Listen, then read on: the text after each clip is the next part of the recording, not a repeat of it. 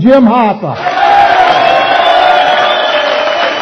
As the national president for the Teamsters organization, You know there's a war? You know there's a war because they declared war on us. Jim Hoffa says his 250,000 members across the country and thousands here in Ohio are under attack. They introduced right to work in 14 states simultaneously. Do you get the conspiracy? There get Lisa WTOL 11.